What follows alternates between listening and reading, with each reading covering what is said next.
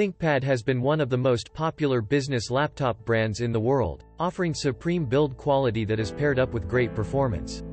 The Lenovo ThinkPad X13 Yoga, while not being Lenovo's flagship still has that flagship price tag and brings premium features to the table. The device is also versatile enough to be used for professional work, due to its display. Today we are presenting you our top 5 picks about the Lenovo ThinkPad X13 Yoga. As this laptop is on the more premium side, we expect, and we get premium materials and great build quality. The device has a very slim profile of 15.9 mm and weighs only 1.25 kg, due to its complicated build. The chassis is made out of magnesium alloy, making the laptop a lot tougher than its weight would suggest. As for the other parts of the body, such as the lid and the bottom panel, they are built off carbon fiber hybrid polymer plus 55% glass fiber content. Moving over to the display, the Full HD IPS panel of the Lenovo ThinkPad X13 Yoga has comfortable viewing angles and a good contrast ratio. Moreover, it covers 98% of the sRGB color gamut and its backlight remains flicker-free above 78 nits. Continuing with the color accuracy of the display, here's our test, which uses the 24 most commonly used colors.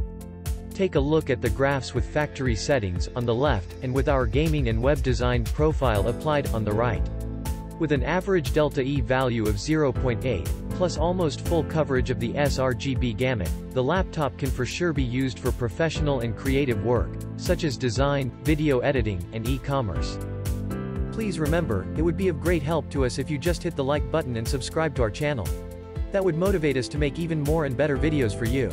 Another area where this laptop excels is the battery life, where its relatively small 51 watt-hour unit managed to last through 11 hours add 40 minutes of web browsing and 11 hours and 29 minutes of video playback in our tests.